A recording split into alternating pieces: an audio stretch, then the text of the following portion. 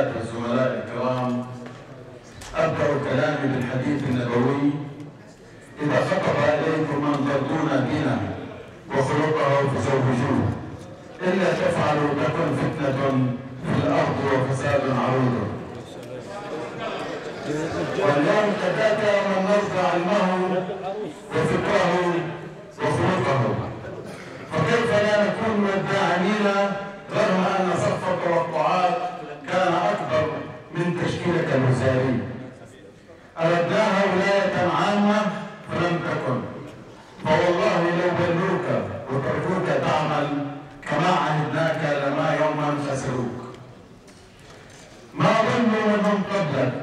فكيف يولوك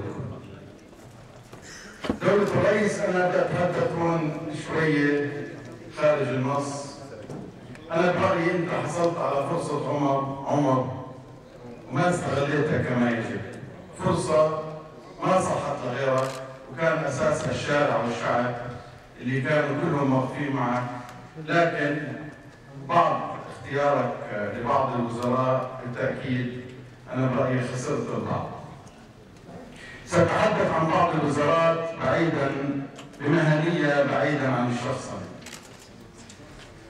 معالي وزير الخارجية قبل أيام بالصين يبشر بإنجازات اقتصادية وتجارية وثقافية. أنا بدي أحكي هذا الكلام عشان يكون أن الكلام مفهوم بالفعل.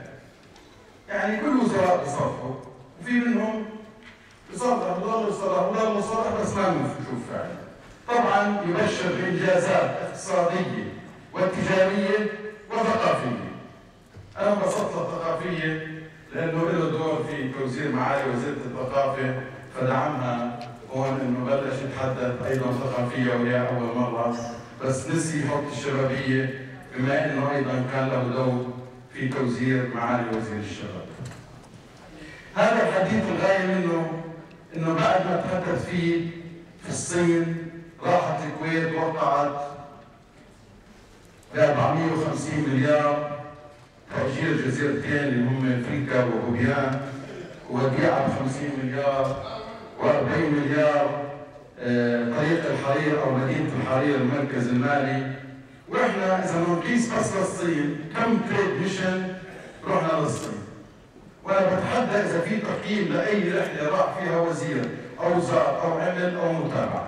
بنروح عم نيجي ونحكي نفس هذا الكلام حتى وزير الصناعه والتجارة السابق حكى الصين والأردن وكعاد اتفاقية إنشاء مجلس أعمال طريق الحرير وبعدين بنفس الاجتماع بنلاقي الصين وقعت وأنا بس الغاية اللي بحكيها إنه الزيارات والتصريحات لازم يكون لها متابعة لأنه الشعب بضل يتفائل بالأخير كله بيطلع كلام جرايد.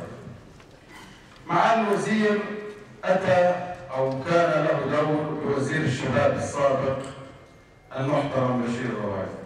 اجى الوزير واشتغل وأعتقد الكل راضي عنه وكان نشيط ونفس الوزير بعد ثلاث أشهر أتى بسفير آخر سفير أول وسفير ثاني معالي وزير الشباب مكرم القيسي اللي أنا برأيي دبلوماسي ناجح وكان خير من يمثل الأردن وين ما تروح وين ما تيجي. حتى لما كنا نزوره كان أيضا يعني 10 سنين عايش برا الأردن سفير. أنا برأيي من الصعب إنه يجي يمسك وزارة زي وزارة الشباب وكل علاقاته الدبلوماسيه بس النقطة الأهم ليش وزير الخارجية وزر سفير أو ساهم في توزيع سفير وبعد ثلاث أشهر أحضر سفير آخر وزر مع إنه الأول كان شغال صح ما هي الغاية؟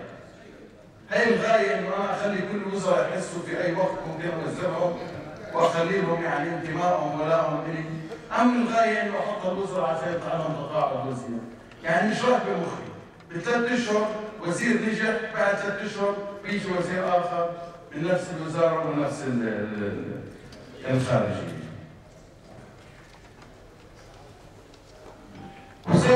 الاتصالات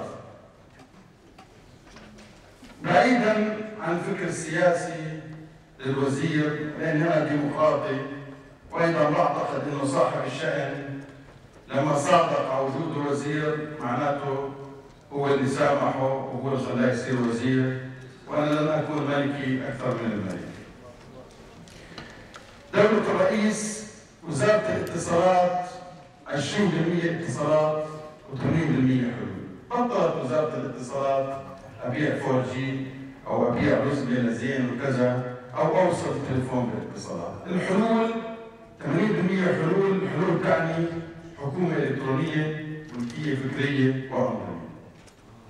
اتصالات تعني أن يكون تليفونك موصول عليه انترنت يعني تستعمل فيسبوك وواتساب ولو مش موصول عليه بتكب التليفون يعني لو ما في applications على تليفونك 90% من الناس برموا التليفون. نفس الخطأ يتكرر ان تعيين كل وزير اتصالات. نجيب وزير اتصالات نعتقد انه الاتصالات هي الأساس لكن الحلول هي الأساس. وما بيكون لوزير الاتصالات خبرة في الحلول وكل التركيز انه يجي يبيع حزمة 4 G لشركة أمنية ولا زين ولا Orange. إذا ما في تطبيقات شو فائدة ال 4 جي اللي بنبيعها؟ شو الغاية منها؟ وزير الاتصالات يجب أن يكون ملم في الملكية الفكرية تكنولوجيا المعلومات والحكومة الإلكترونية. وأنا برأيي مع الوزير مثنى لا يملك الخبره في مجال الاتصالات ولا خبره في في التكنولوجيا يعني معاليه بيعرف كيف يسوق ويبيع حزمة جديدة بالإنترنت بيعرف كيف يبيع مقاصد هواتف أي تسويق ومبيعات دولة الرئيس الحل في الأردن لهذه الوزارة أنا بعطيك ثلاث أسماء وفكر فيهم. شخص اسمه اللي هو بيصلح لموضوع الحلول وليس الاتصالات فقط. شخص اسمه ميشيل وكيلي. شخص اسمه وليد حبسون. مظبوط حكيتها يا حبسون. وشخص آخر اسمه بشار. هذا إذا كنت تبحث عن حلول لحكومات إلكترونية.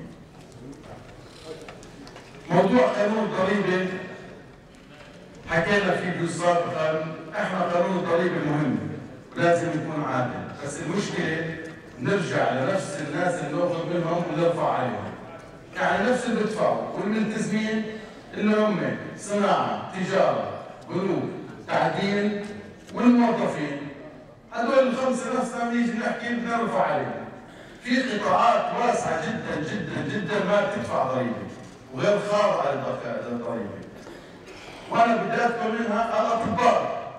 كلنا نعرف في أطباء يوميتهم الله يرزقهم 10 15 20 ألف و5000 هدول لو جيت أنت فرضت عليهم 5% بكونوا مؤمنين لك لأنك بتبيض مصاريهم وبتريحهم.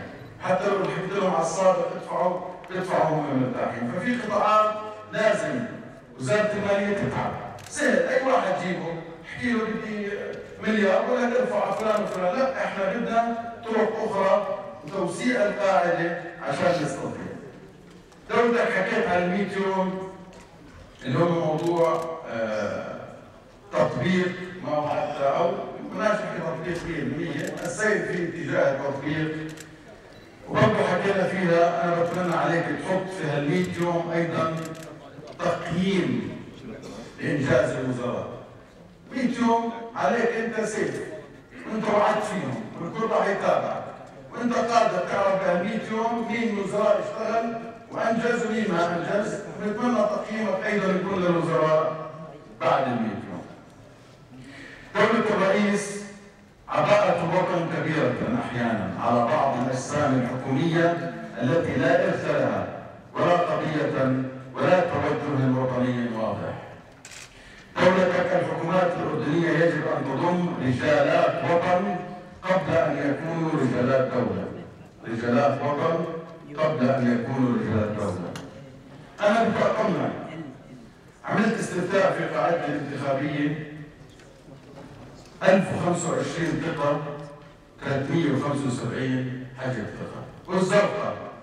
والزرقاء تاريخيا تاريخيا زملائي بيأكدوا علي دائما مع حزب أول مرة بعمل استفتاء وأنا تفاجأت فيه طلعت ثقة. هنيئا لك ثقة الشعب وأنا برأيي هم الأهم بالأخير مهم الشعب طبعا المجلس النيابي مهم لكن الشعب هم اللي بعطوا القوة وهم اللي بعطوا الزخم. من يعرف الرزاز لا يملك إلا أن يدعمها ولأنك صاحب مبدأ وتعرف كيف تقتل المبادئ وأصحابها. ورغم أني سأكون الداعم لك. وهذا لم يحضر لم يحضر لم يحضره من هم قبلك.